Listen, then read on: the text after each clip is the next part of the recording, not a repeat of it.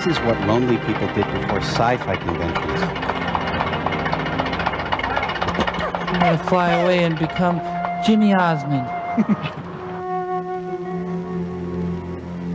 Hey, you didn't see a pair of sunglasses on the ground, did you? Uh-uh.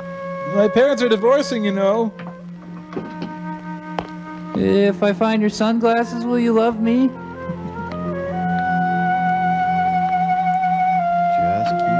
Those sunglasses. That's it, loser. Come on. Plane looks like something you'd get out of a cereal box. I'm gonna splatter myself all over the tarmac to impress Dad. God did that.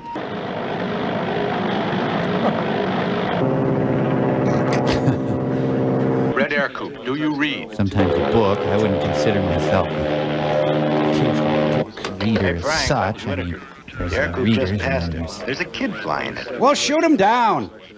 The only reason that thing's still in the air is that some of those little ones pretty near fly themselves. I forgot to take my Dramamine. Mommy?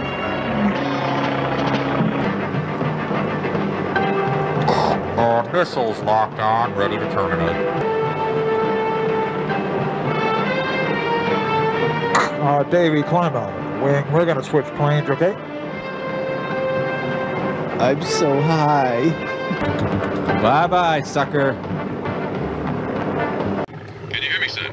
Yes, sir. I can hear you. Okay, good. That's half the battle. Now, what's your name? Davey. Davey Scott. Hi, Davey.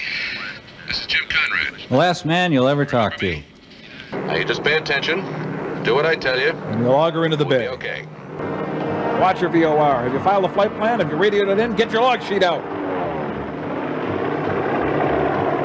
Just hold that wheel real gentle. Now, keep going till you run out of gas. Approaching the field.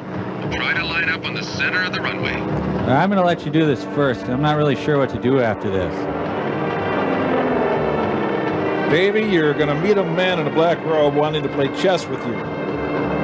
He's back on the wheel. Good. Easy, easy. You touched.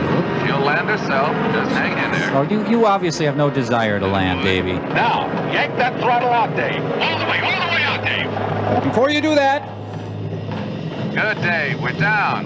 now let's try that again.